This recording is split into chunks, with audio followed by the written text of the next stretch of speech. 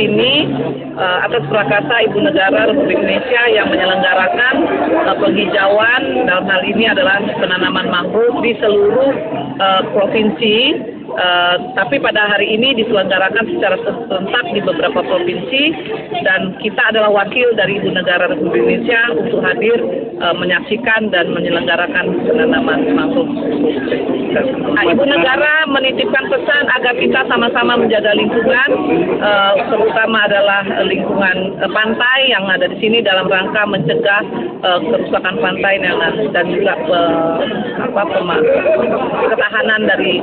pantai dari terhadap abrasi uh, laut dan sebagai pertahanan terhadap kalau terjadi